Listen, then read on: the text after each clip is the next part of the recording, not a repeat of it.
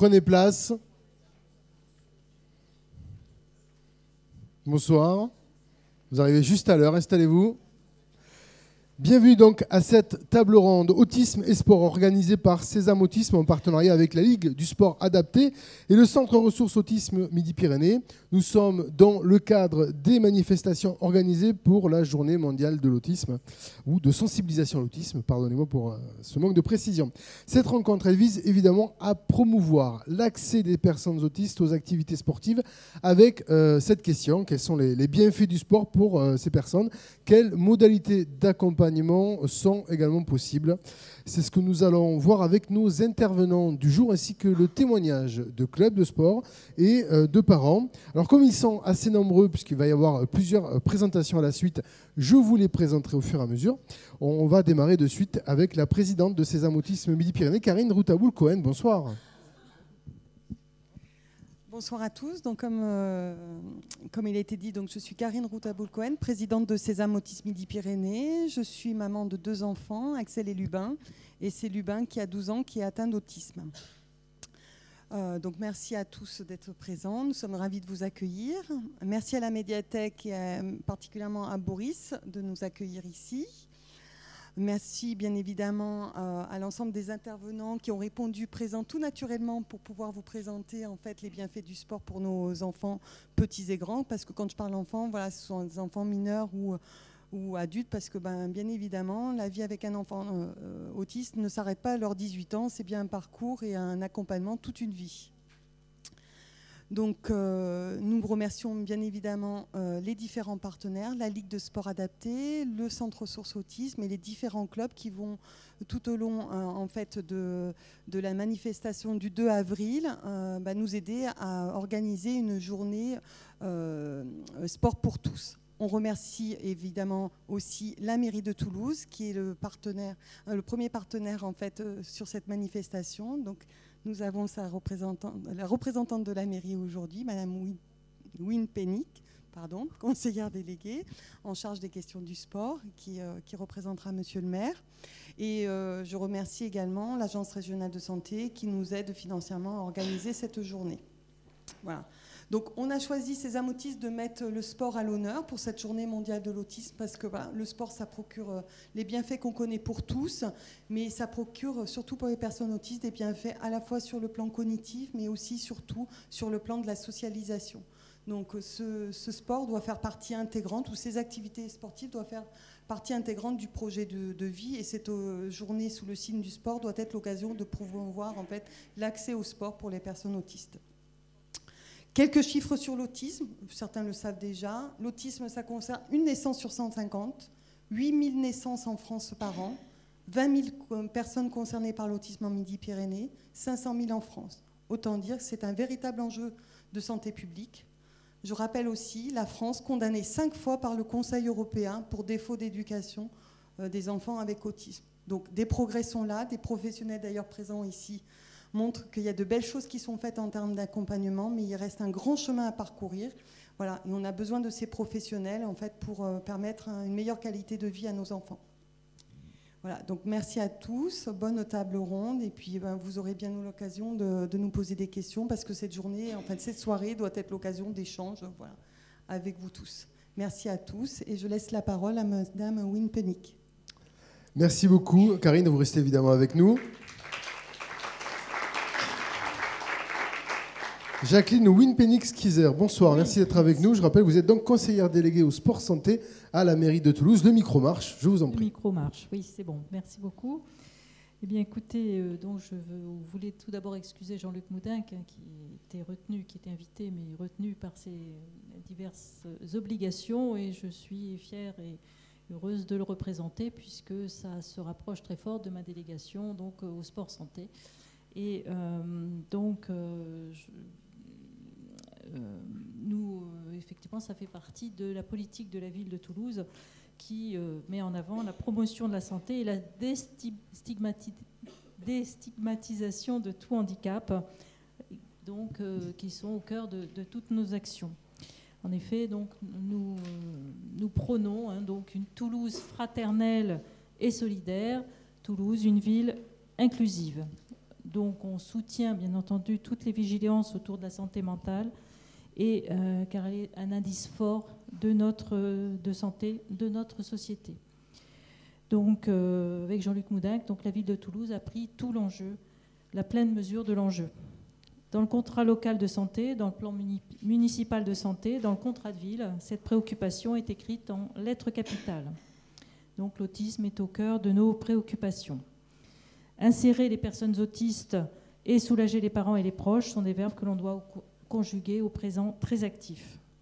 On ne peut que saluer donc et féliciter l'association Sésame Autisme Midi-Pyrénées et sa présidente, pardon, et sa présidente, donc Karine Routaboul Cohen, qui anime cette, euh, cette association et qui est à l'origine de cette manifestation de, de, ce soir.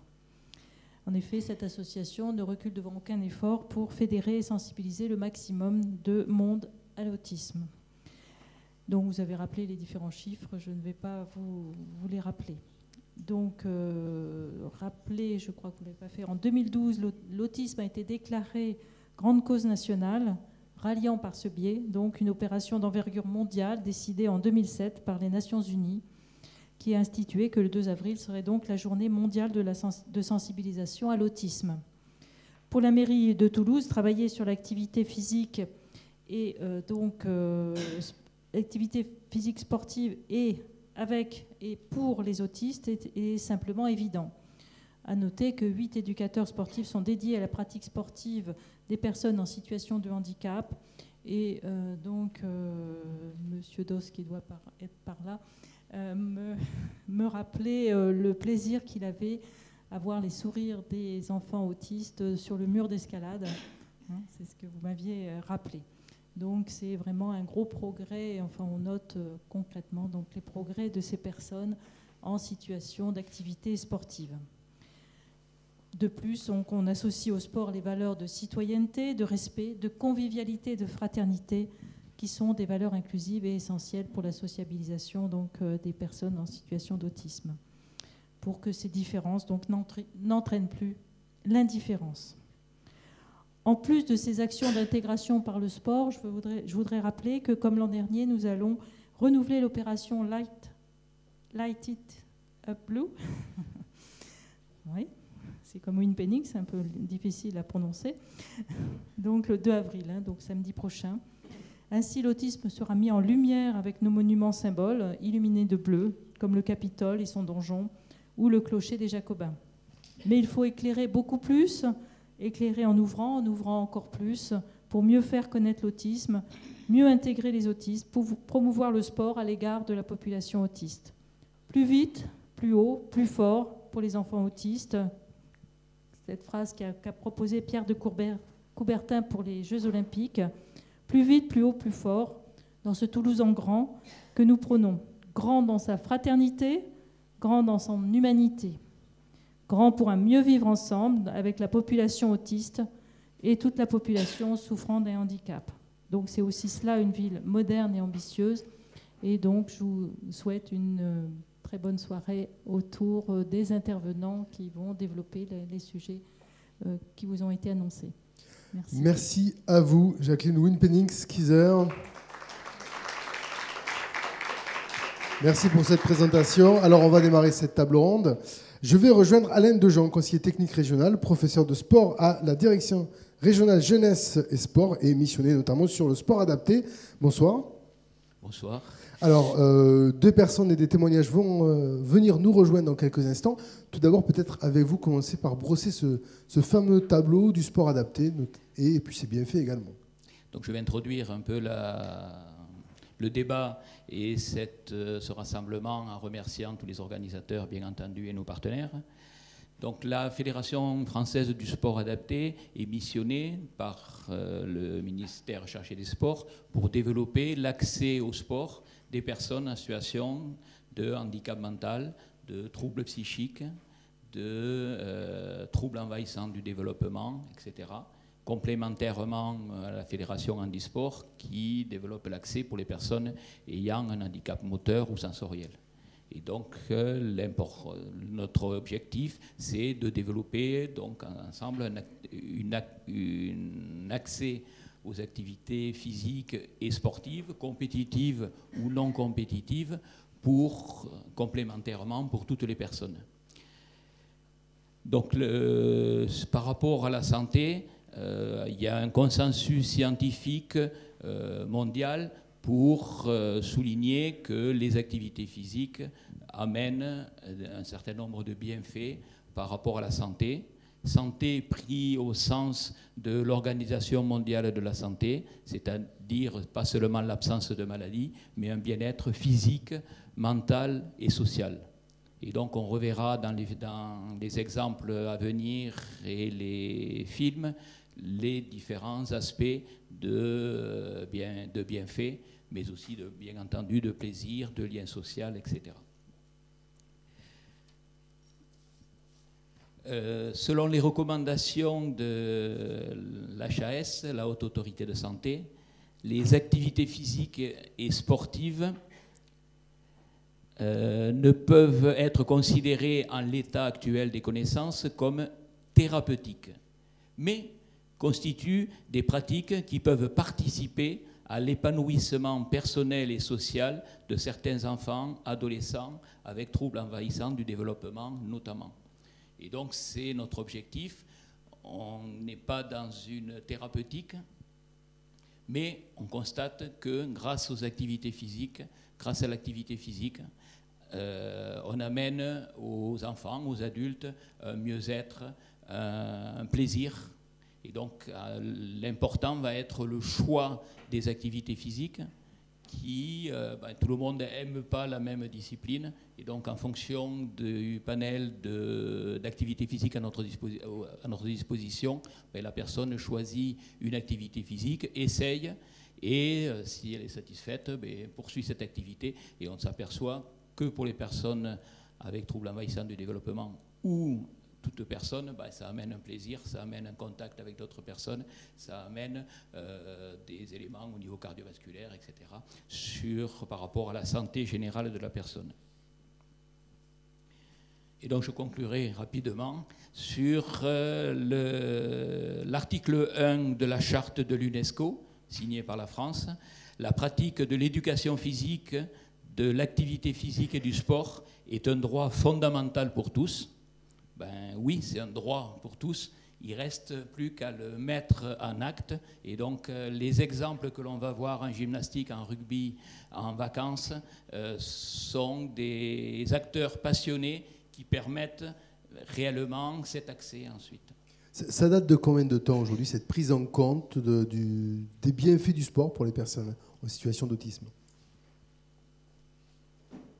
C'est euh, difficile à dire, ça a évolué plus fortement ces dernières années pour l'autisme et pour l'ensemble des, personnes.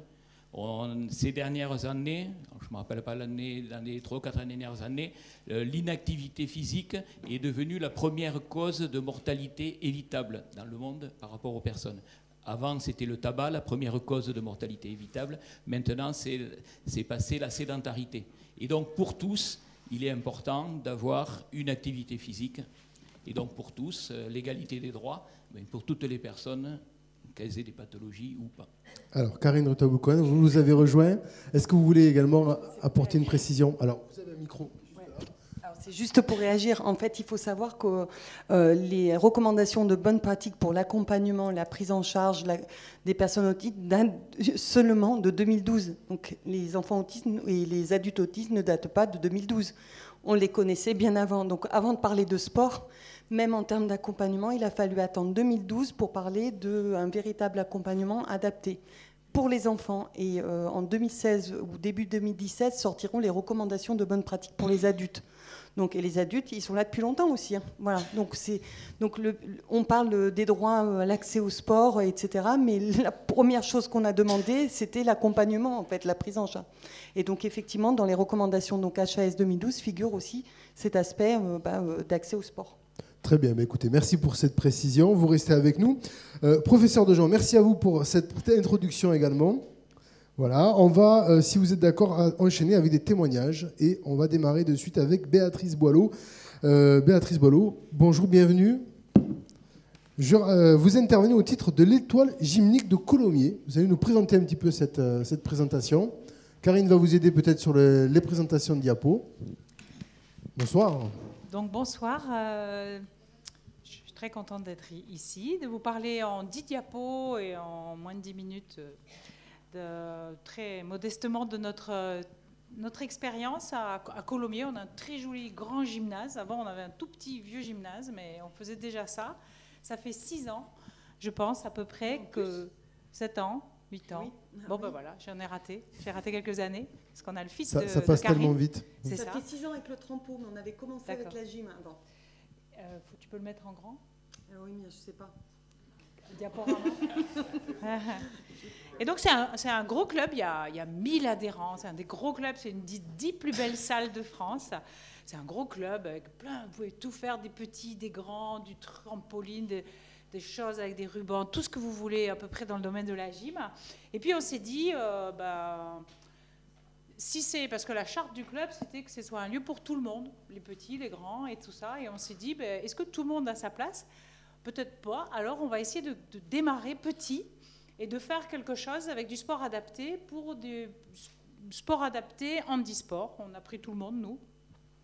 Handisport, des gens qui ont des hémiplégies, des petites filles euh, jumelles qui sont des prématurés qui sont hémiplégiques, euh, euh, des troubles du spectre autistique, d'autres troubles.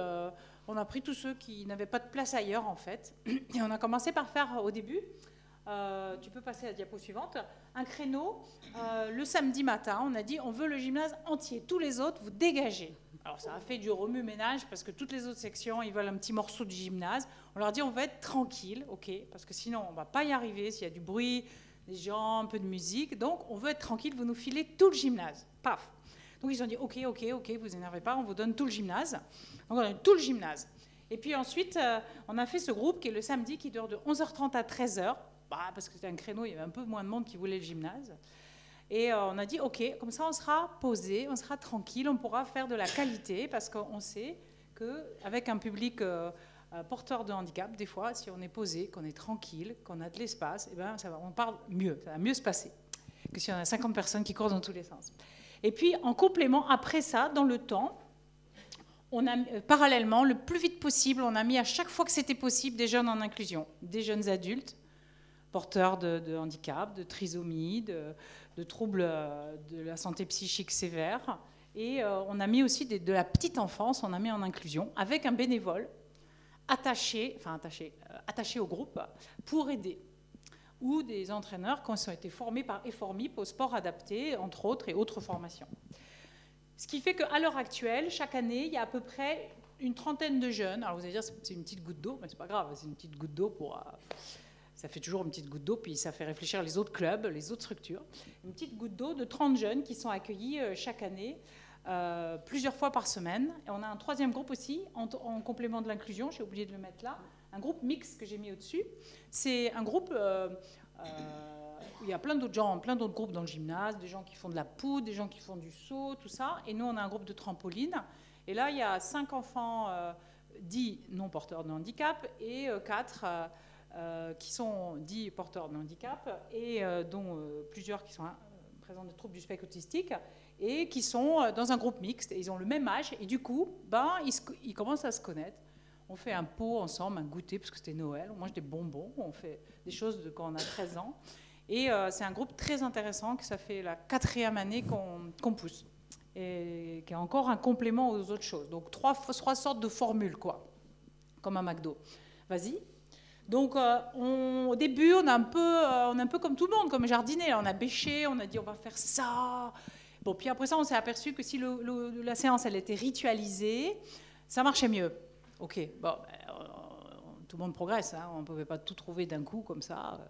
Donc, on s'échauffe, on fait un échauffement jeu collectif. Ensuite, on fait des un atelier phare où ils sont obligés d'aller. Par exemple, on fait pendant 4 semaines d'aller à la poutre. Et tout le monde va à la poutre, même s'ils se détestent la. Bon, ils détestent pas la poutre, mais euh, peut-être ils n'y auraient jamais été. Pour qu'ils testent un peu toutes les activités gymniques.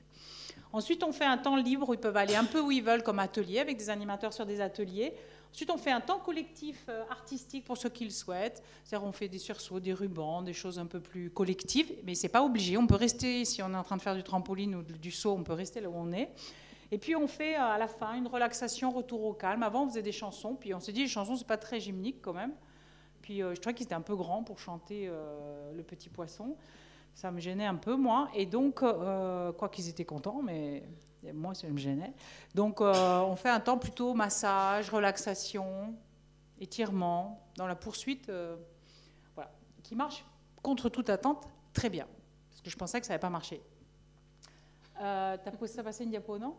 Bon, on avait tout dit sur cette diapo? Ah.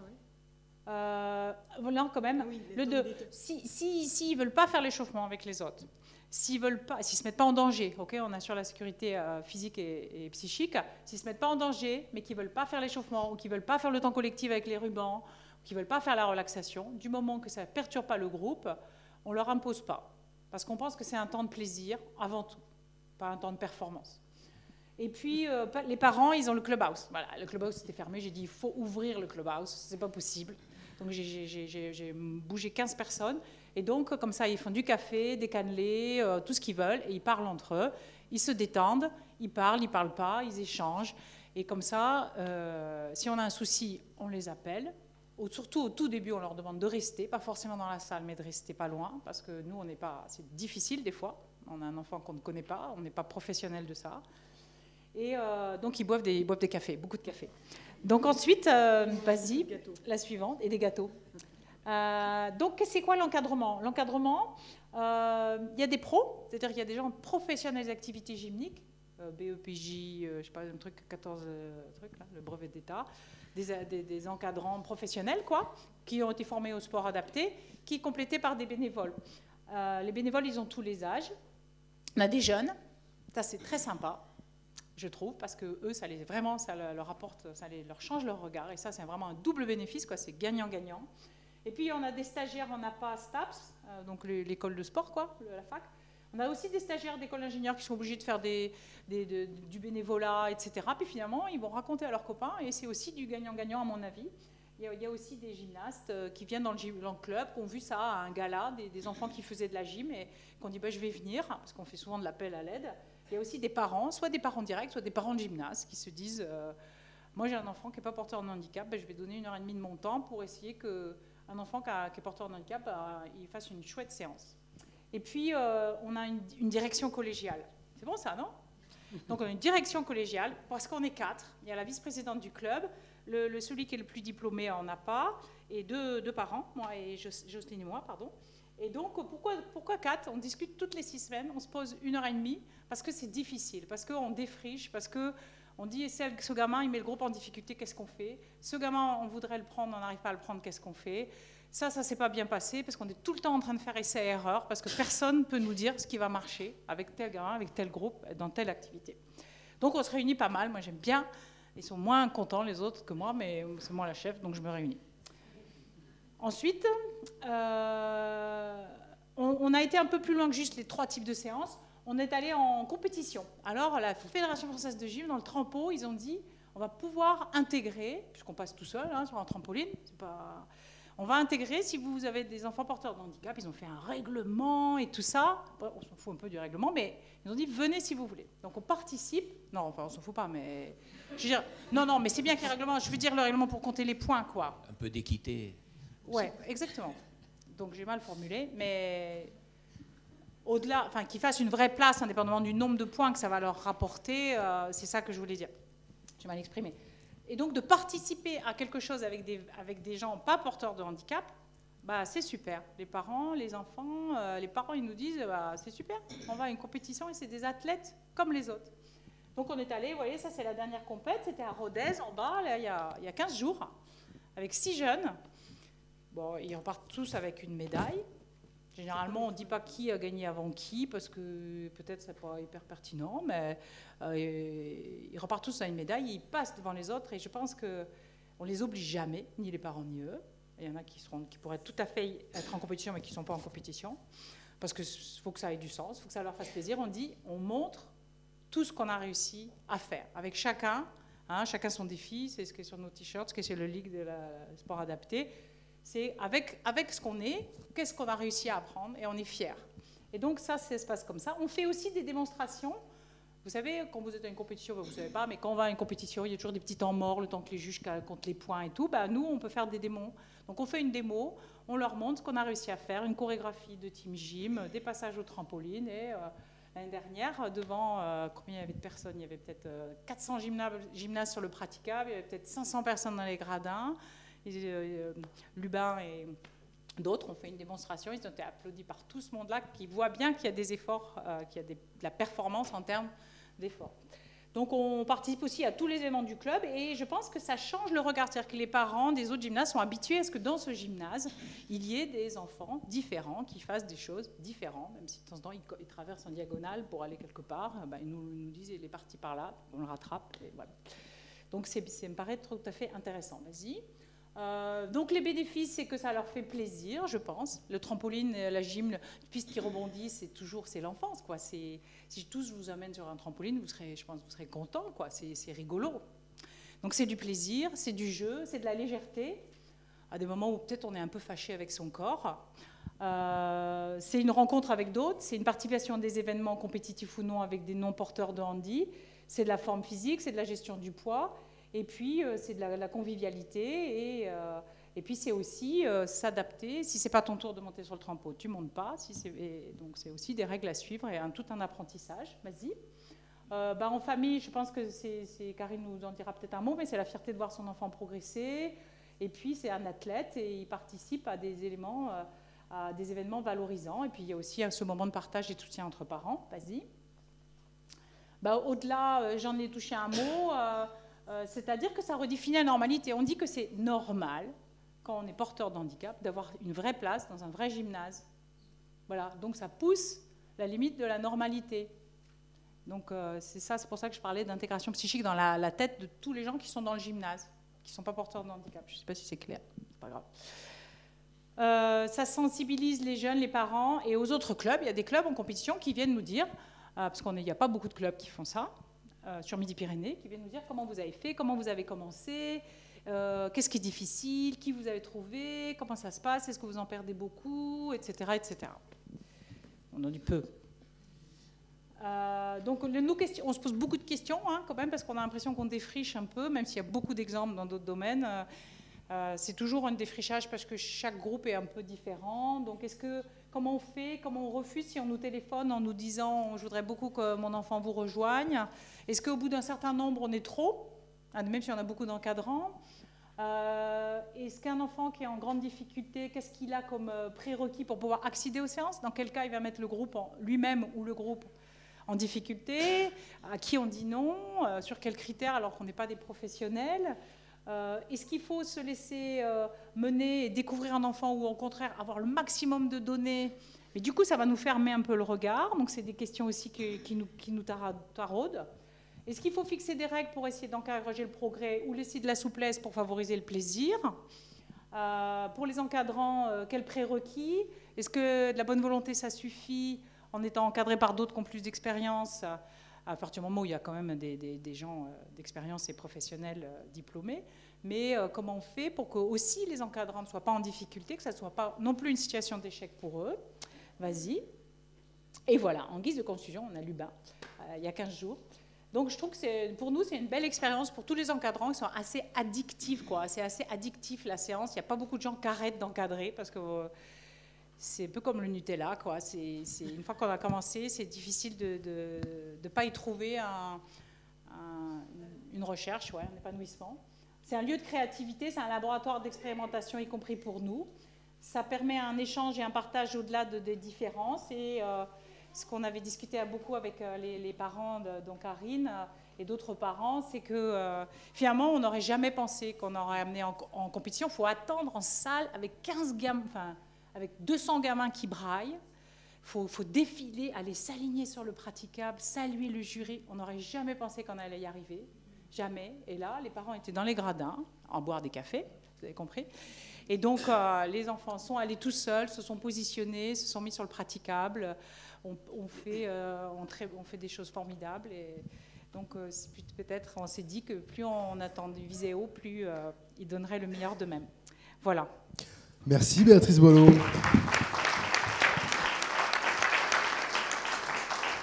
Merci pour cette présentation. Alors vous restez avec nous, il y aura des questions sans doute tout à l'heure. Je vous propose d'enchaîner peut-être avec d'autres d'autres exemples. Et j'appelle à présent Jean-Baptiste Debré et Alexandra Dalia. Alors Jean-Baptiste, vous êtes chef de service au CERESA, c'est le Centre régional d'éducation et de services au nautisme en Midi-Pyrénées. Et Alexandra, vous êtes de l'association TUC Vacances, TUC Vacances qui propose notamment de l'accueil en centre de loisirs pour les enfants de 6 à 17 ans.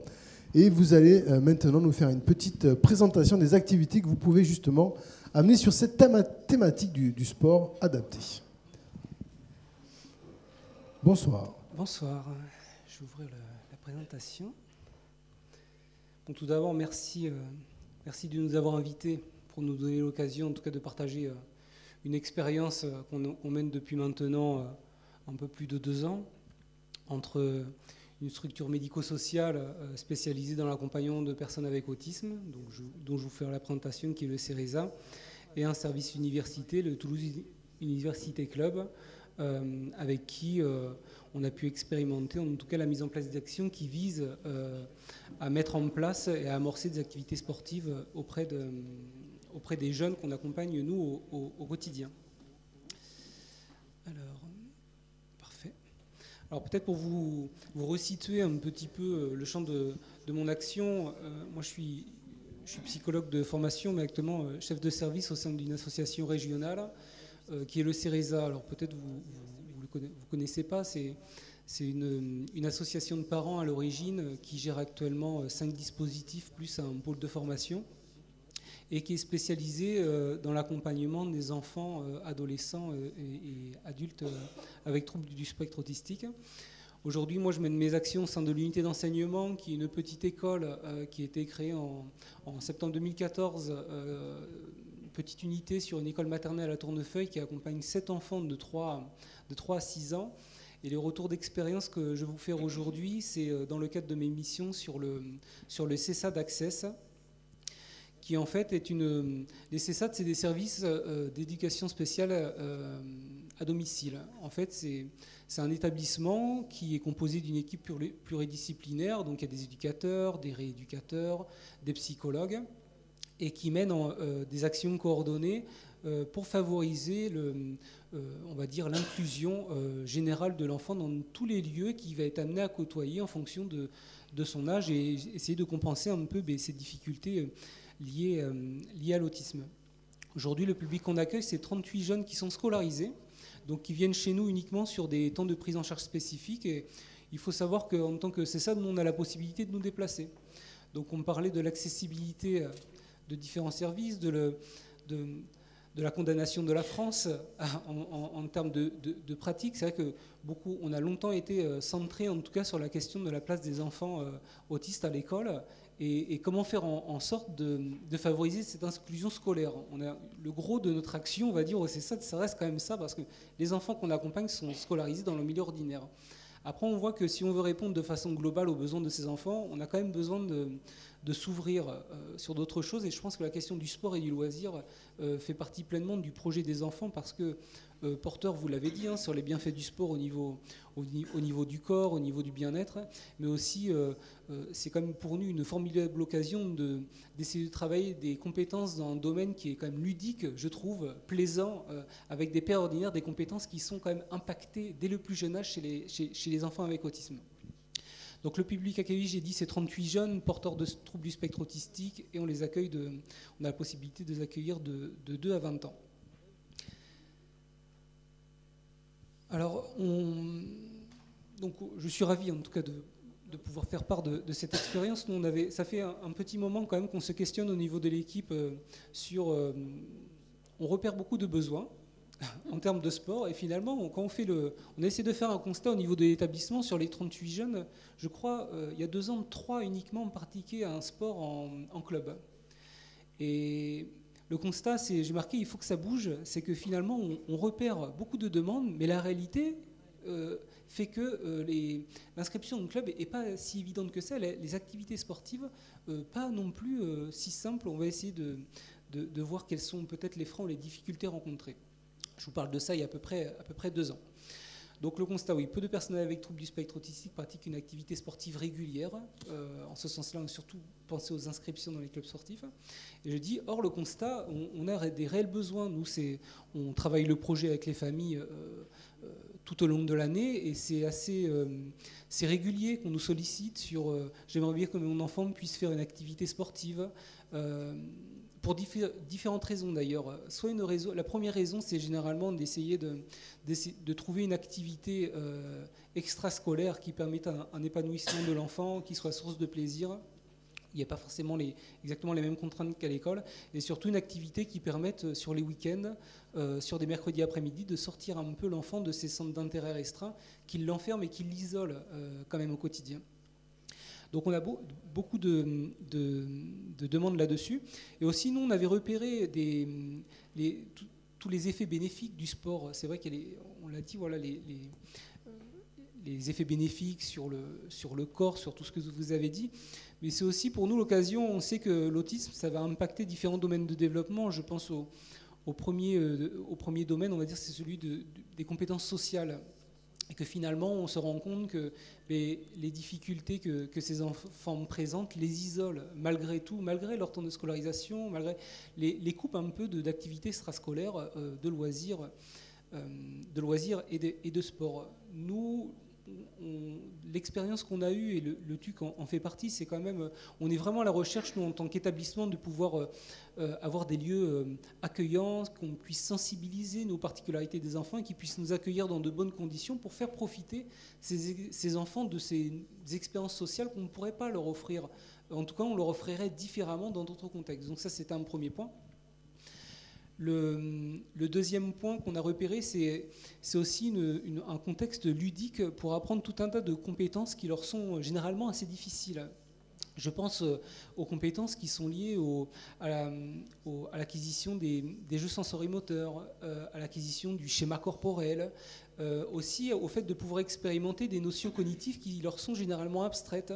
Je pense au déplacement, euh, autant au repérage dans l'espace, la prise en compte de son environnement social, tout un tas de compétences qui, nous, travaillons dans nos établissements, mais restent malgré tout artificielles, qui sont là quand même une bonne occasion pour les enfants de leur faire expérimenter euh, ce type de pratique et que du coup ça, rentre réellement dans, dans, le, dans le projet des enfants. Donc nous, on s'est un peu questionné sur, on, repère des besoins et la, réalité, finalement, on se rend compte que le sport est, pas pratiqué par tous. On a essayé de comprendre quel levier ou quelles contraintes on, peut identifier là-dessus. La première contrainte, ce que j'ai mis en avant, c'est quand même les particularités de, fonctionnement des, personnes avec autisme. Alors les contraintes ne sont pas exhaustives, mais en tout cas sur les particularités de fonctionnement, j'ai quand même parlé des aspects sensoriels. C'est vrai que nous, on nous demande souvent de dire bon, euh, quel type de sport euh, Est-ce que c'est un sport collectif Est-ce que c'est un sport individuel euh, Alors nous, c'est vrai qu'on a plutôt tendance au début à, pour beaucoup en tout cas, penser des, sports individuels, alors, qu'à côté de ça, on a des expériences très positives. Je pense au rugby, on en parlera, je pense, tout à l'heure ce soir. mais en tout cas, sur les, sur les sports individuels, on lance là-dessus parce qu'on sait quand même au niveau au niveau euh, sensoriel, c'est des enfants présentent comme des, bizarreries, des particularités, des, enfants qui ont du mal à, être touchés, par exemple, ou, au contraire être, très tactiles. Des difficultés aussi pour les, jeunes, des fois, à supporter des, surstimulations euh, sensorielles. Je pense au, bruit important, au déplacement, au visuel, lié à l'environnement euh, sportif. Le deuxième point, c'est l'adaptation au collectif. C'est vrai qu'on le vise, mais il n'est pas euh, accessible d'emblée, il me semble, à tous. C'est que la question des sports collectifs demande quand même beaucoup de, compétences qui sont généralement fragilisées euh, dans l'autisme, qui peut-être, du coup, font que euh, les sports collectifs sont peut-être moins, moins investis. Euh, et après, c'est pareil, ça va être tout ce qui touche à la communication, la compréhension des règles, le fait que parfois les règles peuvent changer, les intentions des joueurs, anticiper, enfin toutes ces petites choses-là qui, qui sont travaillées et qui impactent peut-être les compétences, en tout cas la pratique d'un sport, d'un sport au quotidien. Le deuxième point, comme je voulais souligner, c'est le, les moyens de compensation. C'est vrai que nous, beaucoup de, familles seraient quand même tentées pour tenter de l'expérience auprès d'un club, euh, d'un club sportif, mais ils nous disent mais euh, non, le temps si le CERESA, enfin si le CESAD accompagne notre jeune sur les premières séances, est-ce que, que les clubs sont sensibilisés? Est-ce qu'il y aura la possibilité d'avoir une aide humaine, une AVL qui va venir? Un étudiant STAPS. et ça, c'est vrai que sur Toulouse, on a quand même beaucoup de, je trouve, beaucoup d'aide et, en ce sens-là, c'est positif. C'est pas valable partout, on n'a pas toujours la possibilité de, le mettre en place. Et, peut-être la dernière contrainte qui joue, c'était, et c'est en ce sens-là où je trouve que le partenariat avec le TUC a apporté vraiment quelque chose de, différent, c'est que c'est la question du choix pour les enfants, le choix du sport. Et c'est vrai que les enfants avec autisme, ils ont des difficultés de communication, des difficultés à se projeter, des difficultés à anticiper peut-être les contraintes d'un sport, et que sans passer par l'expérimentation, ça reste quand même difficile pour eux de, se prononcer sur tel ou tel sport. Et du coup, on nous, on avait eu quelques actions individuelles auprès de... On a eu l'occasion de travailler mener vraiment des, bonnes actions, mais pour des situations individuelles, je pense à des clubs d'escalade, euh, des clubs, euh, on avait fait des, partenariats avec la piscine, avec différents sports, mais à chaque fois c'était sur un sport. Et on avait essayé de se renseigner un peu. J'avais eu connaissance des possibilités d'avoir des étudiants de STAPS qui, dans le cadre de cursus de formation, mais pouvaient accompagner. C'était une première piste.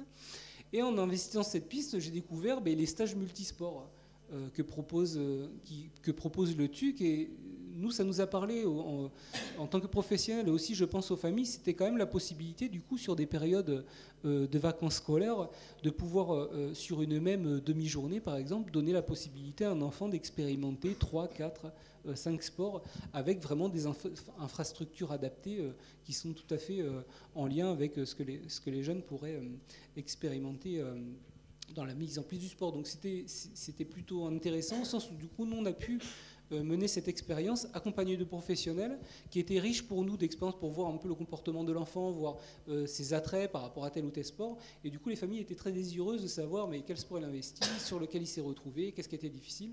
Certaines familles ont d'ailleurs souhaité même pouvoir venir observer, donc on passait l'après-midi avec nous à voir un peu le comportement de l'enfant.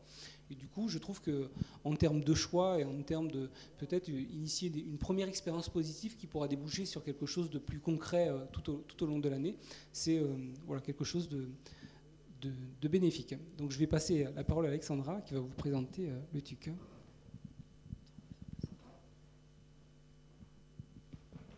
Bonsoir à tous. Euh, donc, je me présente, je m'appelle Alexandra Dalias, je suis coordinatrice des centres de loisirs euh, et du BAFA au TUC Vacances. Alors, je vais vous présenter d'abord le TUC, euh, c'est le Toulouse Université Club. En fait, le TUC a été créé en 1929, c'est un très vieux club sur Toulouse. Au sein du TUC, il y a 18 sections sportives, donc on peut y retrouver le TUC rugby, le TUC escrime, enfin tout un tas d'activités sportives. Et euh, c'est donc euh, différentes structures euh, pour les amateurs qui permettent la pratique en compétition et également en loisir. Et c'est le représentant de l'université au niveau du sport civil. Et c'est vrai qu'au niveau de ces, de ces sections sportives, il y a eu déjà notamment sur certaines, sur certaines sections, notamment l'aviron, l'athlétisme, la canne de combat, l'escrime et l'hockey sur gazon, certaines, euh, certaines actions qui ont été menées euh, pour le public en situation de handicap, euh, l'intégration de certains enfants sur, sur, sur des créneaux d'entraînement.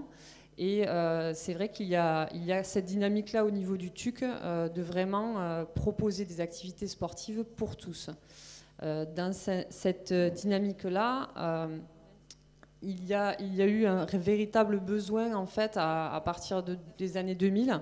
Euh, du coup, le TUC Vacances, c'est euh, une, une, autre section. Du coup, c'est la section transversale de toutes les sections sportives. L'objectif étant vraiment de proposer en fait euh, des accueils de loisirs pour les enfants de 6 à 17 ans, uniquement par contre sur les vacances scolaires et sous forme de centres de loisirs et de séjours. Et ça permettait du coup de, euh, pouvoir proposer euh, aux enfants sur nos centres, par exemple, euh, différentes activités sportives et, et permettre si peut-être un enfant a vraiment une sensibilité qui va se développer sur notre centre de loisirs sur un sport en particulier, on va pouvoir derrière l'aiguiller vers nos, différentes structures du TUC le fonctionnement, euh, c'est vrai, de notre centre de loisirs euh, est assez particulier, c'est-à-dire que les inscriptions peuvent se faire une journée, deux journées à la semaine, donc ça reste assez libre. Et euh, pour revenir justement sur, sur ce que disait Jean-Baptiste par rapport à la notion de choix, c'est quelque chose qui a été fait dès le début au niveau du TUC Vacances, c'est qu'en fait les enfants vont pouvoir venir et ils vont pouvoir choisir. C'est-à-dire qu'à chaque heure, il y a deux créneaux le matin et deux créneaux l'après-midi. On va leur proposer deux à trois activités à dominante sportive. Il y a des petits jeux, il y a quelques ateliers socio-éducatifs également, mais l'enfant va choisir. On va lui proposer par exemple du basket, hein, du tennis de table et une activité manuelle, et l'enfant va choisir quelle activité il souhaite faire. L'activité se déroule pendant une heure, et au bout d'une heure, on repropose deux, trois nouvelles activités. L'objectif étant vraiment sur nos centres de loisirs que les enfants fassent tout simplement euh, un petit peu leurs vacances à la carte en voyant un maximum d'activités différentes. On propose également euh, des séjours et euh, nous sommes également organisme de formation BAFA. Donc on a aussi une petite sensibilité au niveau de nos formations par rapport à, l'handicap de manière générale, par un module dans, un de, de nos approfondissements. Pardon. Et euh, donc voilà, de manière générale, euh, ce que l'on propose. Euh, actuellement, enfin jusqu'à présent, pour l'accueil d'enfants en situation de handicap, concernant l'autisme plus particulièrement, donc nous avons accueilli environ 10 enfants à titre individuel et une vingtaine d'enfants accueillis avec le CERESA. Donc c'est vrai que ça a été, enfin c'est une belle victoire pour le moment et je pense notamment à euh, un, jeune, un, jeune, garçon, Pierrick, qui est venu avec le CERESA et qui maintenant euh, vient à titre individuel. Donc c'est vrai que c'est sur ce genre de, ben, conclusion euh, que ça nous donne encore plus envie de travailler, de travailler ensemble pour, pour montrer véritablement qu'il est possible d'accueillir les enfants qui, sont, qui sont autistes euh, si, euh, si, voilà, si les, les personnes communiquent, hein, euh, s'il y a vraiment un travail de préparation en amont et qu'il peut y avoir cette transition qui est faite de venir à titre individuel sans avoir d'AVL, etc. Après, dans une certaine dimension, parce que c'est vrai que nous, sur nos centres de loisirs, on, est, vraiment sur une, approche où l'enfant va vraiment faire partie du, groupe comme un enfant comme les autres. Et euh, on, ne peut malheureusement pas mettre à disposition des animateurs supplémentaires pour, euh, pour le suivi, même si on en aurait euh, fortement envie. au niveau des autres handicaps, pour que vous ayez aussi ces informations, c'est aussi également environ une cinquantaine d'enfants que l'on accueille. donc, ça peut être des enfants diabétiques, trisomiques, avec des troubles du comportement. On a eu aussi un enfant tétraplégique. Donc, il y a tout un tas de, une, vraiment une grande variété d'handicaps qu'on a pu recevoir. Et, euh, c'est vrai que euh, euh, c'est une expérience très enrichissante, aussi bien pour les enfants que pour les équipes et que pour nous au niveau du TUC Vacances. je voulais vous présenter, alors c'est un protocole d'accueil général que l'on a mis en place, donc aussi bien pour les enfants autistes que pour tout enfant porteur d'handicap. Euh, donc, dans un premier temps, euh, quand on a en général un appel de la famille, euh, donc pour une inscription auprès sur nos centres de loisirs, parce qu'actuellement, on est pour l'instant en tout cas dans la capacité que d'accueillir sur nos centres de loisirs. Après, on, essaie de lancer le, projet sur le séjour, mais c'est vrai qu'on préfère bien stabiliser tous nos acquis et le travail qu'on a pu faire jusqu'à présent pour pouvoir vraiment bien basculer et faire ça de la bonne manière sur nos séjours. Donc c'est vraiment discuter avec la famille, avoir des premiers échanges euh, par rapport euh, à l'handicap de l'enfant pour avoir un maximum d'informations, savoir si on, est quand même en capacité de l'accueillir. Et euh, on propose d'envoyer un dossier, fiche de renseignement, donc, qui est le dossier SIAM. J'en ai amené un exemplaire si certains veulent le voir après l'intervention, et qui reprend tout un tas de, de renseignements qui nous aident justement à accueillir l'enfant à partir de là, donc, euh, qu'on a, a, reçu pardon, cette fiche, donc, euh, on le fait passer au SIAM. Si on a besoin d'informations complémentaires, euh, on voit avec eux et aussi avec nos différents partenaires, comme ça peut être le CERESA, pour avoir un maximum d'infos avec les, les, personnes les plus qualifiées vis-à-vis de l'handicap. Et ensuite, donc, suivant toutes ces informations, après, on, décide avec la famille de pouvoir accueillir. En général, on met tout en œuvre pour pouvoir accueillir tout le monde. Euh, et, ensuite, ce que l'on fait, qui est très important, euh, c'est que euh, sur, on a des journées de préparation et d'installation au niveau du centre qui sont avant. Et c'est vraiment un moment important où on propose aux parents, avec l'enfant, si possible, de venir rencontrer l'équipe. Ça va permettre à l'enfant et aux parents déjà de, vous pouvoir visiter les installations, mais aussi euh, de pouvoir rencontrer l'équipe et d'avoir un premier contact, de créer des premiers repères et, et voilà, et déjà de mettre en place un climat, euh, un climat favorable pour que l'enfant se sente vraiment le mieux possible et euh, qu'il n'y ait pas un trop gros euh, décalage quand l'enfant sera accueilli le jour J et qu'il ait déjà quelques petites marques. Et ensuite, c'est des échanges tout au long du séjour, hein, s'il y a des choses à améliorer et un bilan à la, fin de, la venue de l'enfant, on fait un bilan avec la famille.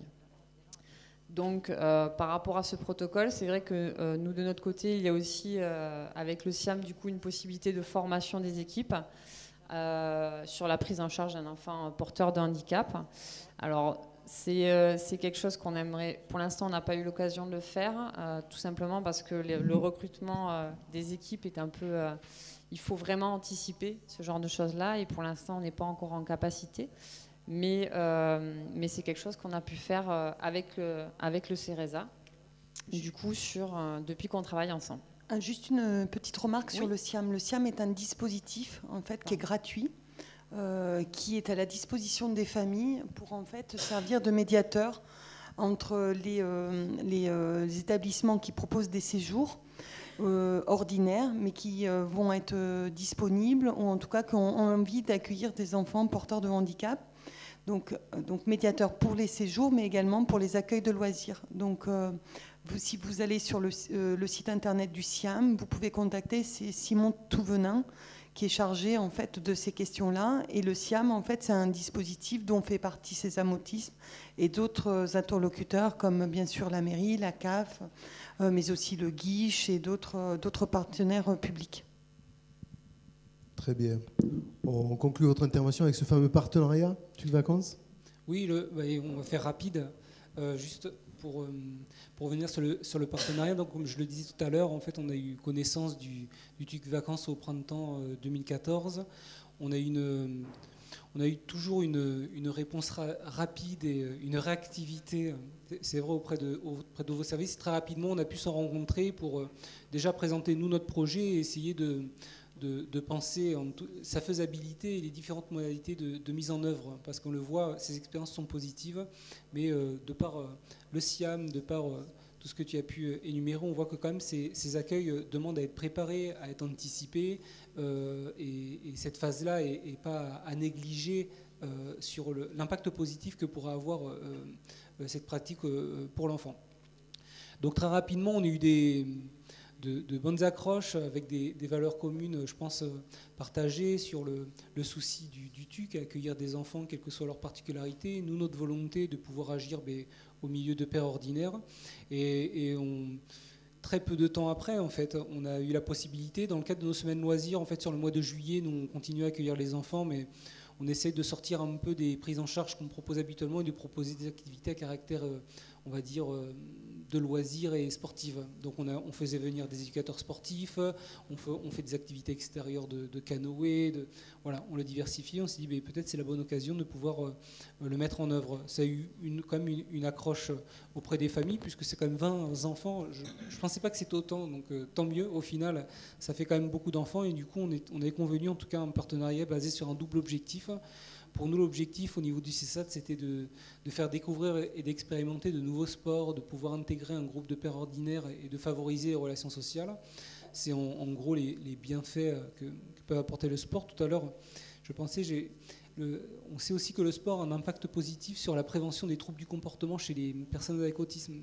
Ces études qui le montrent et qu'il y a tout intérêt justement dans le cadre du projet, de leur semaine, de, favoriser la mise en place de ces activités. Ça, a un, impact positif là-dessus. Et du coup, au niveau du TUC, c'était de pouvoir euh, avoir des connaissances générales sur l'autisme, de connaître, des stratégies et d'aider à apporter euh, et des aides pardon, à apporter aux enfants. Donc on, s'est mis euh, d'accord là-dessus. Et nous aussi on aime bien se, rencontrer. Alors on n'avait pas toujours le, café, mais en tout cas de se faire des, petits bilans euh, à chaque euh, fin de vacances pour anticiper les suivantes. En termes de est-ce que les supports de sensibilisation ont fonctionné, qu'est-ce qui a fonctionné au niveau des équipes? Et qu'est-ce qui sera à, réajuster pour, les, pour les fois d'après? Donc brièvement, là, c'était juste pour reprendre un petit peu euh, donc le fonctionnement qu'on a eu euh, ensemble. Donc c'est vrai qu'il y a eu ces, premières réunions, à chaque fois réunions de préparation euh, ensemble au niveau des salariés de, chaque association et véritablement un temps de sensibilisation. on s'en est rendu compte assez rapidement. Ça a été fait quasiment, peut-être pas toutes les vacances, mais quasiment, parce qu'on a des équipes qui reviennent. Donc un temps de sensibilisation euh, qui a été fait par le CERESA au niveau de notre équipe. Donc euh, sur le temps de l'installation, euh, pour vraiment leur donner un maximum d'informations pour savoir comment, comment accueillir au mieux les enfants et qu'ils se sentent le plus à l'aise possible. L'envoi des informations vis-à-vis -vis de chaque enfant, bien entendu, les effectifs et les plannings d'activité. Parce que c'est vrai que justement, par rapport à la notion de choix dont on parlait tout à l'heure, euh, les plannings d'activité sont faits par les animateurs et euh, du coup, euh, c'était important de pouvoir les transmettre au CERESA pour que déjà il y ait une première approche qui soit donnée aux enfants à, leur expliquer qu'il y aura telle ou telle activité proposée et vraiment de les préparer. Dans la mise en œuvre, véritablement donc sur le centre de loisirs, du coup les enfants venaient sur une demi-journée avec des éducateurs du CERESA. Euh, donc il y a eu une sensibilisation qui a été faite auprès des enfants euh, du centre de loisirs, euh, l'intégration des enfants du CERESA avec les autres enfants de manière assez naturelle, ça s'est plutôt très bien passé à chaque fois. la participation aux activités, donc, ainsi qu'au goûter, au temps de vie quotidienne, et avec bien entendu et ce, les éducateurs du CERESA étaient aussi euh, vraiment, euh, c'était vraiment un soutien important pour les animateurs, suivant le, degré d'autisme, bien entendu. Les éducateurs étaient présents euh, sur place et étaient en soutien auprès des animateurs si les animateurs avaient rencontré quelques difficultés euh, avec, euh, avec certains enfants, mais de manière générale, ça s'est quand même très bien passé.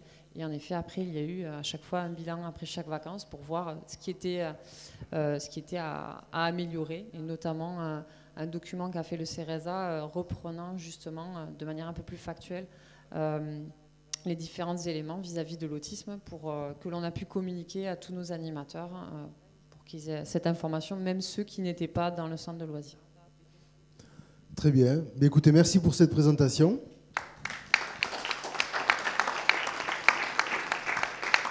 Alors on reviendra peut-être avec vous tout à l'heure sur les questions-réponses si on a un petit peu de temps. Je vous propose d'enchaîner avec la dernière présentation de, cette euh, soirée.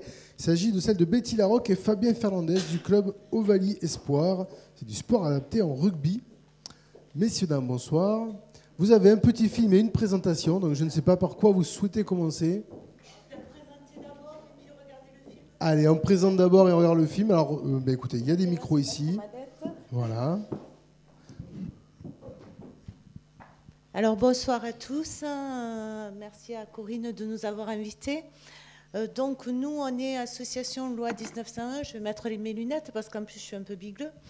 voilà, nous, nous, on est association loi 1901. Donc, on s'est créé en septembre 2012 et à l'heure actuelle, on a 22 enfants. Donc on fonctionne, nous, dans le Tarn-et-Garonne.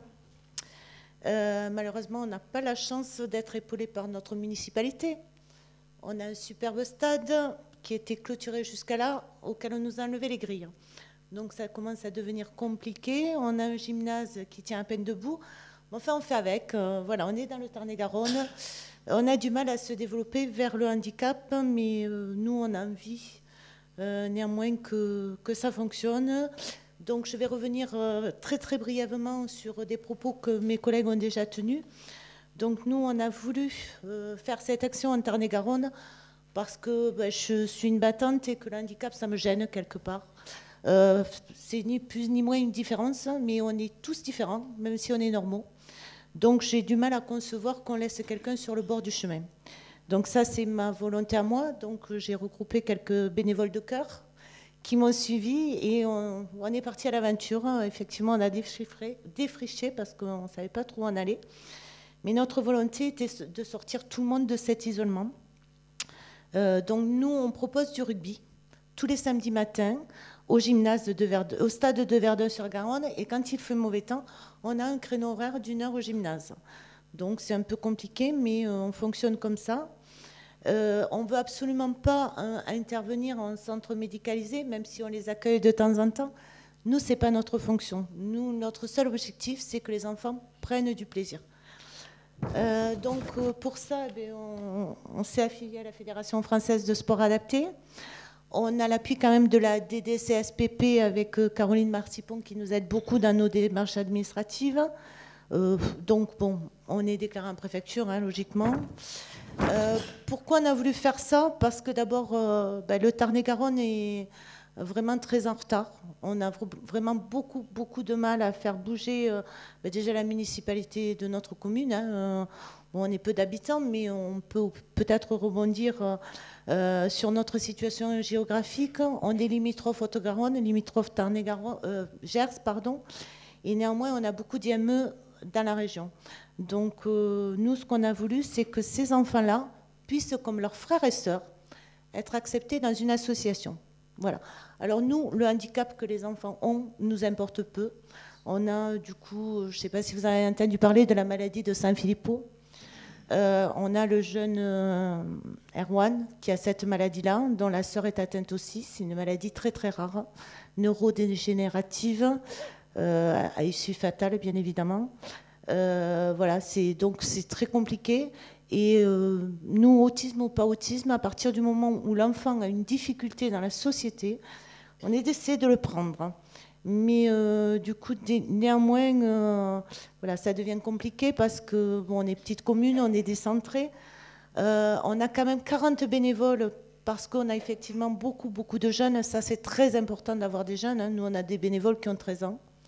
On a des bénévoles qui ont 15 ans. On a un bénévole de 13 ans qui est un enfant qui est scolarisé normalement, euh, qui a toutefois des, difficultés euh, de dyslexie, de, choses un petit peu légères, mais qui sont compliquées, scolairement parlant, euh, mais qui a fait de l'école de rugby depuis sa plus jeune enfance, et du coup qui permet en fait d'être médiateur entre les enfants en situation de handicap mental, euh, les bénévoles, si euh, le dialogue ne passe pas correctement, ben, au travers de cet enfant, effectivement, on a la solution. Voilà, donc euh, du coup, on a des bénévoles motivés parce qu'effectivement, comment dire, ma fille vous dirait, c'est une drogue de venir à Ovalie. Voilà, tous les samedis, on les voit progresser. Vous allez voir le film. Hein. Le film, il y a des parents qui parlent c'est vraiment très très valorisant de, fonctionner avec ces enfants-là. Ils vous rendent au quintuple en fait euh, vraiment ce que vous pouvez leur apporter. Donc nos objectifs, eh ben, c'est de développer l'association, mais euh, on va lever le pied un peu parce que maintenant on a 22 inscrits. Donc on fonctionne de 4 ans à 25 ans actuellement. Euh, on essaie de former au maximum nos bénévoles, donc avec la QSA qui est proposée par la Fédération française pour adapter. On a la chance aussi à Midi-Pyrénées quand même d'avoir une fédération française de rugby euh, qui est réactive. Et euh, donc son président, M. Batut, a répondu en fait favorablement euh, pour la cohésion sociale. En fait, il y a une collaboration qui a été signée entre les deux assurances, de la FFR et de la FFSA. Alors c'est un peu compliqué dans les termes, mais ça permet globalement aux enfants qui sont en école de rugby de pouvoir venir sur nos entraînements et vice-versa. Donc ça, c'est très bien. Du coup, tout le monde est assuré, il n'y a plus de problème. Euh, on peut euh, du coup euh, dégager vers les formations aussi. Donc nos éducateurs qui sont affiliés FFSA peuvent participer aux, activités donc rugbystiques. Ce qui a été le cas aujourd'hui, on en est très fiers et je veux vous le signaler, de notre jeune Nicolas qu'on a intégré, donc il avait 17 ans, il a maintenant 19 ans. C'est un enfant qui est très très renfermé quand on l'a accueilli chez nous. Aujourd'hui, cet enfant est passé euh, au rôle d'éducateur chez nous. Euh, il a appris à lire grâce au rugby en partie, à l'ostéopathe. Je suis ravie de, voilà, si je le crois à moitié, mais bon, voilà, c'est ce qu'il nous a dit. Néanmoins, euh, au la main, il a eu son diplôme initiation école de rugby, ses premiers secours chez les pompiers, et il est éducateur chez nous. Donc c'est vraiment pour nous une grosse fierté. Donc en fait, euh, ben, on essaie au, niveau matériel, au niveau qualité de pas de notre enseignement parce qu'on n'est pas là pour enseigner quoi que ce soit, pour euh, apprendre des gestes en fait, ben, de, se former au mieux euh, et, de proposer les activités qui conviennent le mieux à chaque enfant parce qu'on fait chez nous du cas par cas. Donc les objectifs qualificatifs, hein, on propose de pratiquer un sport, bien sûr, sortir de l'isolement, de que tout le monde soit intégré dans la société. Hein. On essaie de proposer un, encadrement handicapé euh, adapté et spécifique. Alors effectivement, nous, on prend les enfants au cas par cas. Euh, et du coup, on, voilà, même si les parents accompagnent sur les premiers entraînements les enfants, il s'avère que par la suite, du coup, on retire les parents du terrain parce que quelque part, euh, voilà, pour une heure, ils sont à nous. voilà, c'est très égoïste, mais quand j'en parle, j'ai dit nos enfants, je me suis aperçue, j'ai dit c'est vraiment pas bien, mais effectivement, on se les approprie pendant une heure et c'est que du plaisir. Euh, les parents échangent de leur côté, ils boivent beaucoup de café, ils mangent des gâteaux. Mais voilà, c'est vraiment, euh, voilà, ce qu'on a voulu, c'est vraiment familial, c'est vraiment simple. Et voilà, je pense qu'en en communiquant au moyen du sport, on parle tous le même langage. Et en fait, euh, ben, ça permet euh, des interactions très intéressantes. Donc chez nous, c'est le sport et, uniquement le sport. Voilà, on n'a pas d'autres prétentions et on n'a sûrement pas euh, des prétentions médicales ni quoi que ce soit. néanmoins, on s'aperçoit que du coup, avec la simplicité, avec le cœur, je pense que ça fonctionne très très bien. Donc nous, pareil, euh, à la fin des entraînements, on finit à 11h, mais on est toujours là à midi 10 sur le terrain, parce qu'on débriefe tous, il faut qu'on passe tous les enfants un par un, savoir euh, qui a progressé, comment on pourrait faire pour fonctionner différemment avec un tel ou un tel. Euh, on, essaie de filmer les entraînements pour faire un petit brief après, voir là où on a pêché, parce qu'on on est tous dans le jus, tous en train de courir le samedi matin, c'est un peu compliqué. Voilà, donc on leur propose aussi des tenues, évidemment, c'est important. Dans le rugby, on a tous le même maillot, le même short, les mêmes chaussettes. Et c'est génial, ils se reconnaissent par leurs couleurs et ça, c'est, c'est vraiment super. Donc euh, voilà. Alors ensuite, ce qu'on a voulu, c'est s'étendre un petit peu et amener ces enfants partout où on pouvait les amener. Donc on s'est rendu compte que le goûter de Noël, c'était un peu compliqué. Parce que des goûters de Noël, ils en ont un peu partout. Ils en ont dans leurs IME, ils en ont donc nous, on essaie avec nos moyens financiers, donc on va à la pêche, hein, évidemment. Euh, si vous en connaissez, on prend. on va à la pêche aux recettes parce qu'on est tous bénévoles, hein, on n'a pas de salariés, on a, voilà. Et du coup, on les amène pour Noël, on essaie de faire une petite sortie ludique. Donc on a fait pêche-merle avec ses grottes. Et là, on a été reçu à Noël euh, au Muséum d'histoire naturelle à Toulouse. Excellent accueil, euh, je vous recommande, c'est vraiment génial. Et on propose en fin d'année un week-end à la mer. Donc euh, ce week-end à la mer est pour nous très très important parce que c'est un moment où on voit les parents différemment. Euh, voilà, les enfants sont couchés, on peut discuter ensemble, on est dans un centre d'hébergement. C'est super, alors ça nous coûte une blinde, hein, évidemment. Mais euh, vraiment, ils nous donnent des tuyaux pour accompagner leurs enfants, ils se lâchent. On partage une partie de leur vie et franchement, euh, moi, je tire mon chapeau à ces parents-là parce que c'est vraiment très, très compliqué au jour le jour, à l'heure, heure par heure, minute par minute, il faut être là. Et vraiment, euh, voilà. Donc, brièvement, ce qu'on a fait cette année pour vous donner un petit peu de l'idée de ce qu'on propose comme sortie. Donc, le 2, ben, on sera à Toulouse, évidemment, euh, il n'y a pas de souci. Le 11 mai, euh, ça c'est une journée à laquelle on tient tout particulièrement avec notre ami qui est dans la salle. On reçoit les IME de la région. Donc c'est Caroline qui organise ça. Les IME viennent chez nous et c'est génial. C'est vraiment une journée euh, splendide. Merci aussi à Philippe Joly qui n'est pas là, mais qui euh, nous amène les jeunes du CREPS qui sont en formation. Ça c'est important aussi de le dire. Ils sont en formation brevet éducateur rugby. Et en fait, à Midi-Pyrénées, on a décidé que le brevet éducateur rugby, ça se cantonnait pas aux personnes normales. Donc, on a voulu euh, rajouter une journée handisport et une journée sport adapté. Et c'est génial parce que les éducs, quand ils viennent chez nous, euh, a priori, ils repartent euh, tous, enfin tous, en grande partie ravis d'avoir découvert le sport adapté qu'ils ne connaissaient pas. Et les IME, c'est une sortie, je pense, sympa chez nous. Euh, le 14 mai cette année, on fait partie, euh, donc on a été inclus par euh, la jeune chambre de commerce de Toulouse. Grâce, on a remporté le prix féminin, le coup de cœur féminin de la dépêche du midi.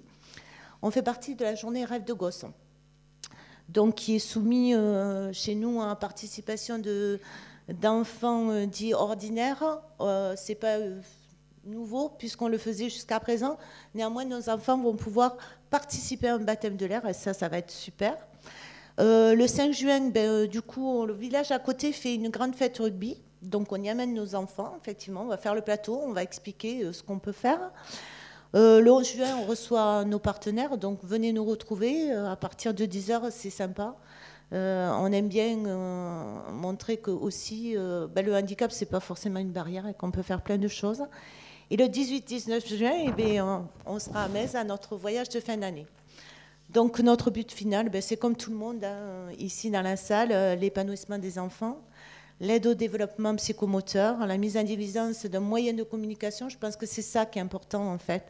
C'est qu'au travers du jeu, euh, ils ont compris qu'ils pouvaient communiquer. Une fois qu'ils comprennent qu'ils peuvent communiquer, ben, tout est possible. quoi même si c'est pas par la parole, on va arriver à faire des choses.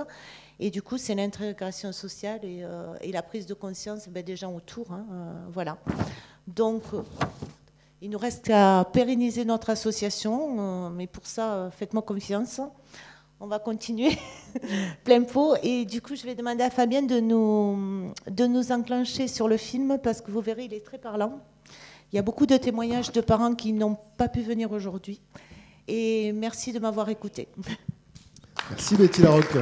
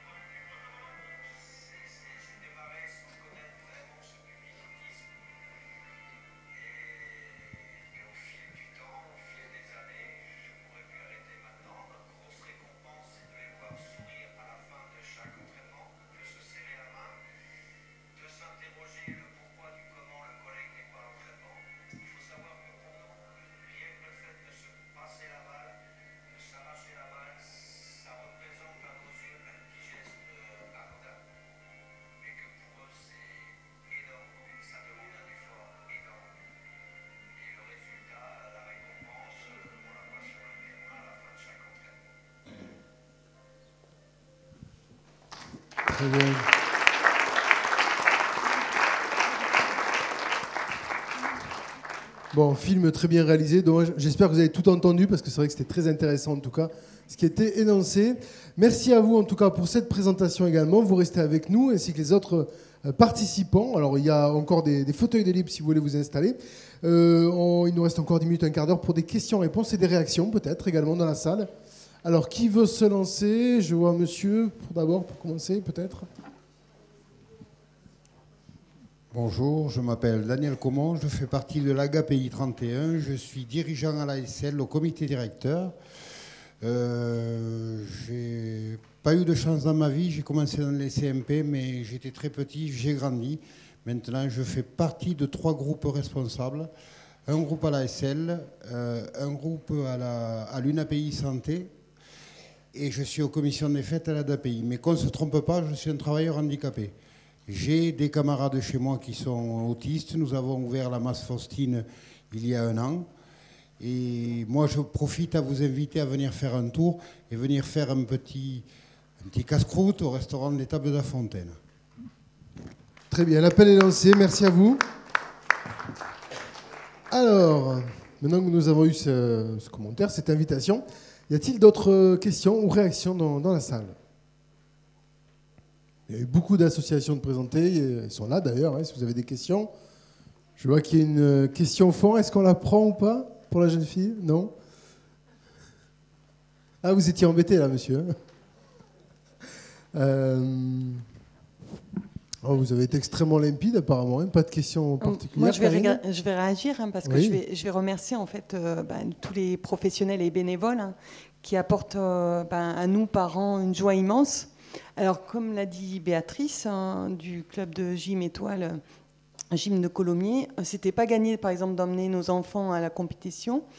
Euh, sachant qu'on qui dit compétition normalement dit par exemple résultat. Mais en fait, nous l'enjeu c'était pas euh, finalement les résultats, c'était effectivement d'être présent au milieu des autres et puis d'apprendre les règles ben, d'une compétition par exemple. Et donc on a commencé. Mon fils il devait pas sauter euh, plus de 5, 5 cm.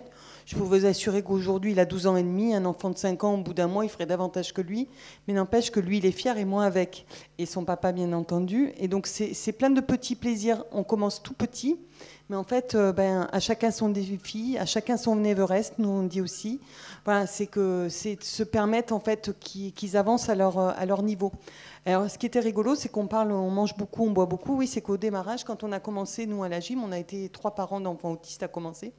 Ah, on était scrutés derrière à regarder ce qu'ils font, les progrès. Maintenant, je peux vous assurer que je regarde même plus mon fils parce qu'en fait, quand je vais à la gym, je rejoins des copains et on discute trucs et astuces.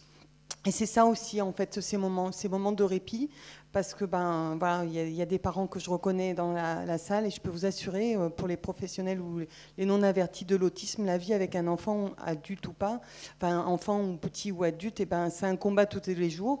C'est qu'il faut être en forme, il faut tenir le jour, la nuit, les vacances, les week-ends, enfin voilà, ça s'arrête jamais. Donc ces moments de répit, voilà, euh, que ce soit dans les loisirs sportifs ou autres, eh ben, c'est super important. Très bien. Alain Dejean, pour réagir également.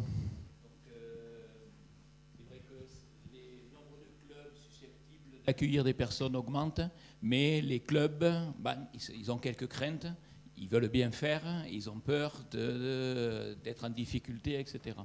Et donc face à cela, euh, on a accompagné des formations et, et, euh, réalisé des recommandations pour, euh, j'ai oublié d'en parler tout à l'heure, et donc des recommandations pour l'accompagnement des personnes présentant un trouble du spectre autistique en milieu sportif, où on a travaillé avec euh, donc, la Ligue du sport adapté, avec le Centre de ressources, de ressources autisme, avec César Autisme, avec le CERESA, et euh, soutenu par la mairie de Toulouse euh, pour éditer le, le, document, par le conseil régional et la direction régionale jeunesse et sport et Écureuil et Solidarité. Et c'est un document qu'on a ici, qu'on peut se procurer ici? C'est un document.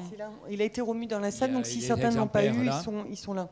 Très bien. Et qui euh, explique un peu les caractéristiques générales, mais ne peut pas expliquer les caractéristiques de chaque personne éventuellement. Toutes les personnes sont différentes, mais ça donne quelques conseils et on fait des formations ensuite sur le terrain avec des personnes. Et donc ça donne quelques conseils, recommandations avec quelques exemples types des choses à éviter et des éléments à prendre en compte euh, particulièrement. Et c'est important de prendre quelques précautions. Et ensuite, ben, on connaît les personnes en général, mais chaque personne est différente et peut avoir des réactions différentes. Et donc, il est important ensuite d'être prudent, euh, d'échanger, d'échanger avec les parents, d'échanger avec les jeunes, d'observer, de conserver un certain rituel, notamment par rapport à cela. Et donc, dans cette euh, inclusion d'accès aux personnes en situation de handicap, on a fait notre document de recommandation pour les personnes ayant un handicap psychique, par, exemple. Mais euh, aujourd'hui, on parlera de celui-là prioritairement.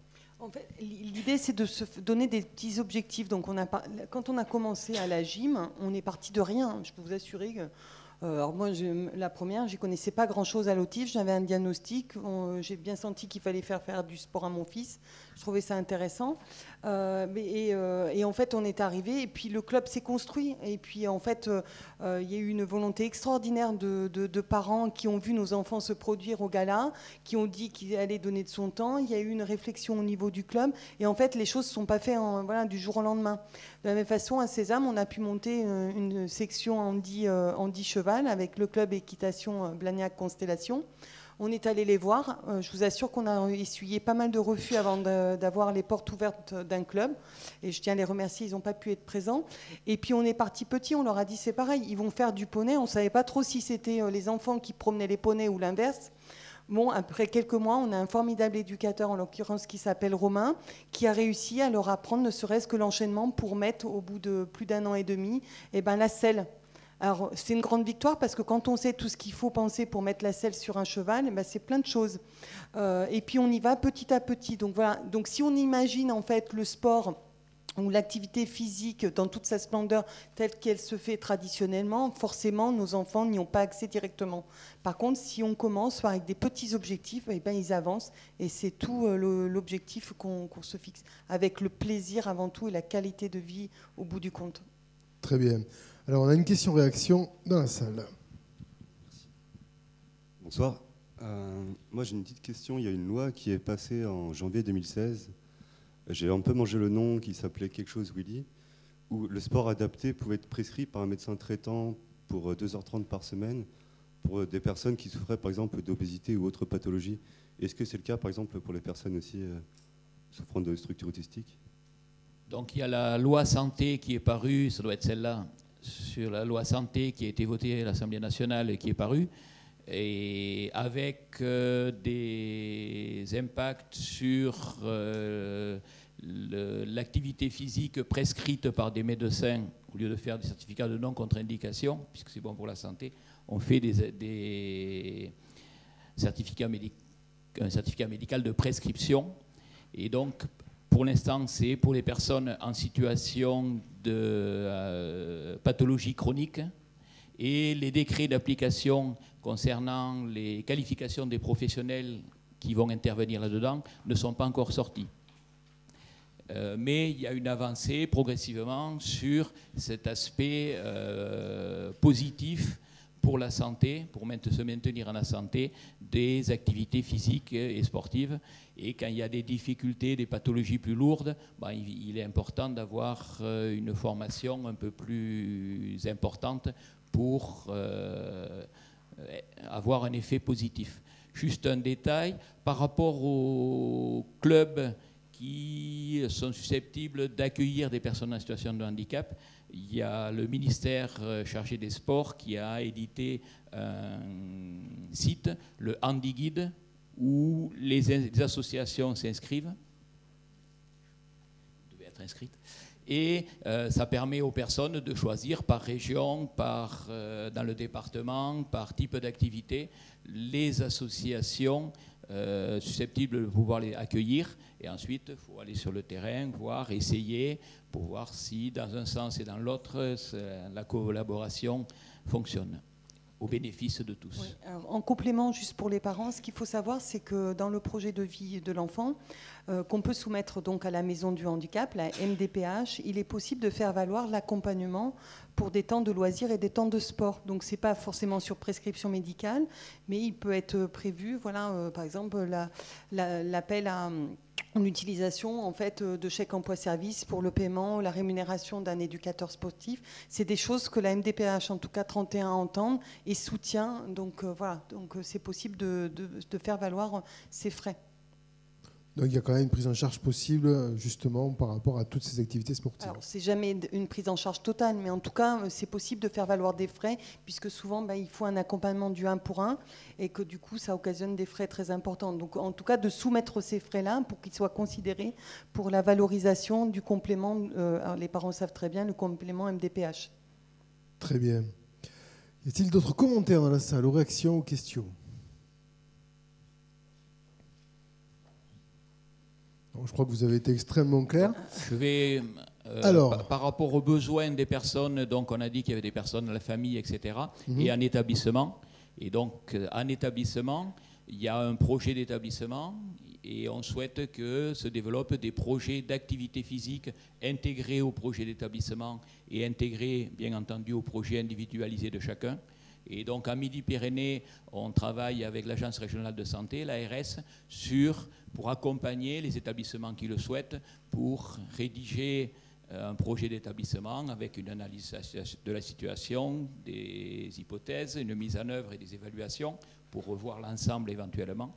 Et euh, le président de la Fédération du sport adapté doit rencontrer prochainement la ministre Ségolène Neuville pour euh, tenter de faire passer cette incitation au niveau national avec euh, une instruction ou une circulaire pour que les évaluations internes et externes des établissements médico-sociaux prennent en compte aussi cet aspect activité physique qui est euh, très sensible pour la santé et donc euh, ce devrait d'être mis en œuvre de manière plus importante dans certains établissements et poursuivre de la même manière dans certains autres qui ont déjà des projets d'activité physique bien construits et où on voit, euh, ils ont accompagné des personnes pour la SL 31 au championnat de France d'escalade, avec des personnes autistes.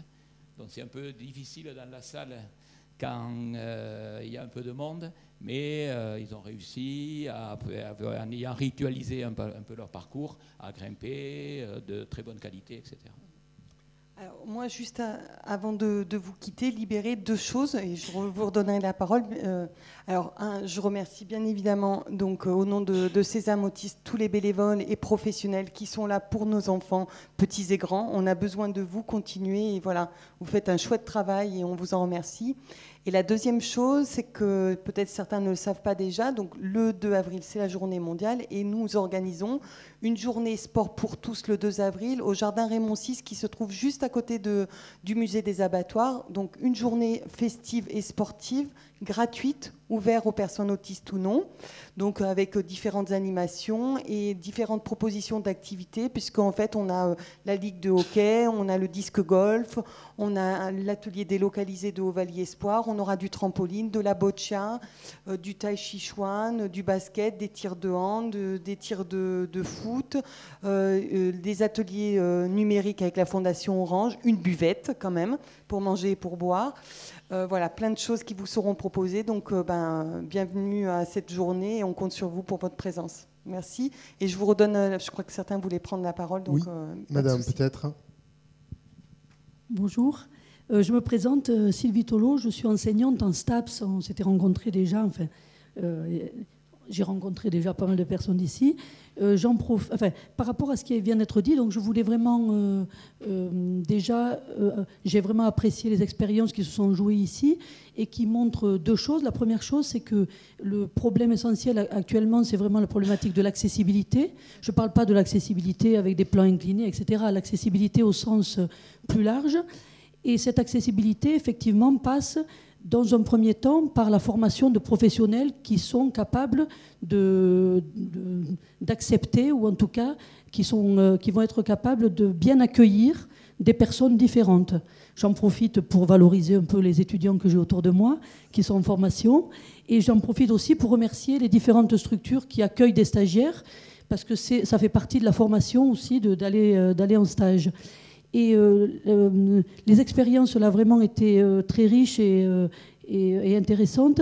Et elle montre aussi l'évolution du, handicap ou de la différence, euh, dans le sens où euh, maintenant, il faut considérer que le handicap ou la différence, ça n'est plus une préoccupation individuelle, mais c'est une préoccupation collective.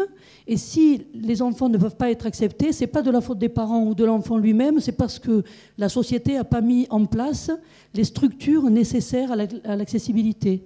Et c'est dans ce sens-là qu'il faut s'orienter maintenant, de dire il faut effectivement qu'il y ait des clubs qui soient susceptibles d'accueillir. C'est fait une bonne fois pour toutes.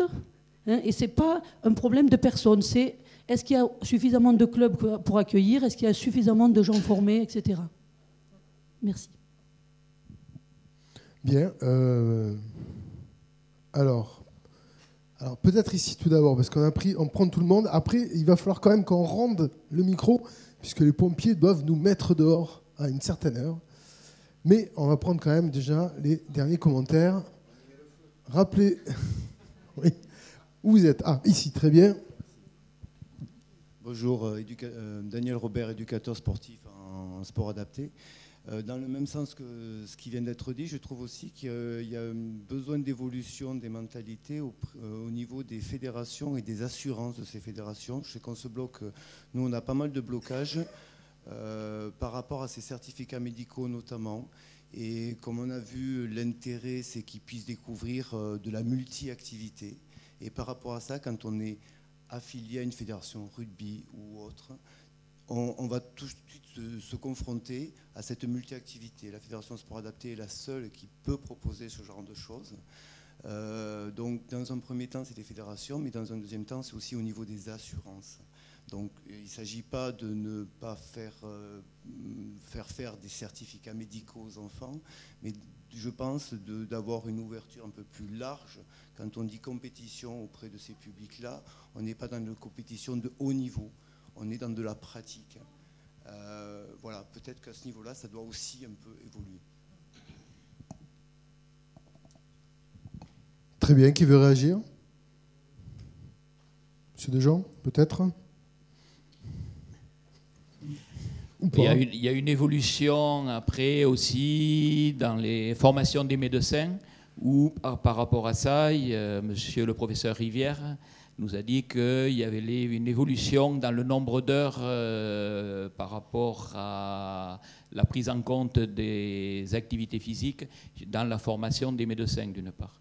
Au niveau des assurances, ben, on travaille euh, régulièrement avec les assurances de manière à prendre en compte au mieux donc il n'y a pas une grosse accidentologie, mais que les assurances prennent en compte au mieux une diversité de pratiques euh, pour ne pas être justement bloquées par rapport à ces assurances. Très bien. Mademoiselle? Bonjour, je m'appelle Alison, j'ai 20 ans et je voudrais vous dire que la réunion m'intéresse beaucoup parce que je suis autiste.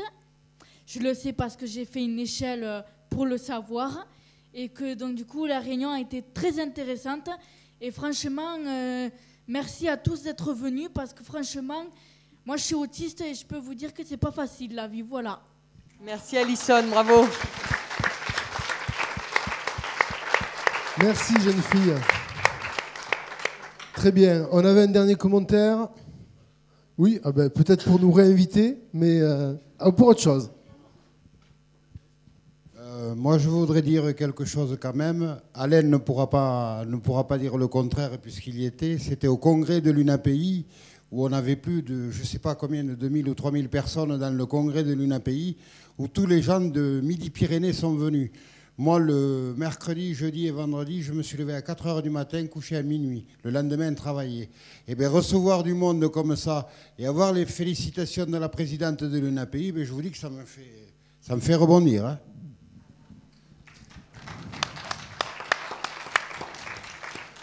Très bien. Écoutez, merci à tous pour vos témoignages. Rendez-vous donc le 2 avril pour cette fameuse journée Jardin Raymond IV à Toulouse. Raymond, Six. euh, Raymond Raymond 6. Je m'y perds avec les chiffres. Merci à tous. Les Bonne horaires, soirée. les Merci horaires encore. peut-être. Euh, oui, ouverture au public de 11h à 18h, mais on va vous remettre un prospectus. Voilà, et faites passer l'info auprès de vous. Merci d'avance. Bonne soirée. Moi, c'est toute la nuit.